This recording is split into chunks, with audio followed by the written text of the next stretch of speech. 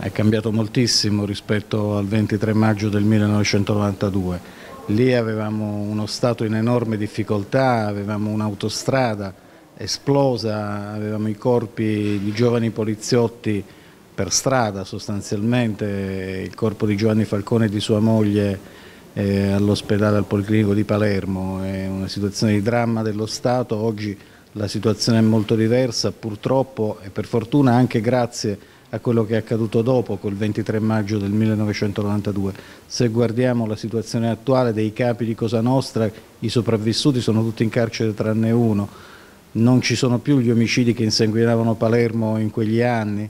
l'organizzazione è in grossissime difficoltà dal punto di vista materiale, del reclutamento di uomini, dei fondi, tutto questo perché l'azione dello Stato in questi 28 anni è stata eh, durissima e i risultati si sono visti probabilmente con qualche errore, con qualche difficoltà, con qualche omertà, ma è incomparabilmente diversa in termini di legalità la situazione dell'Italia e della Sicilia di oggi rispetto a quella di allora.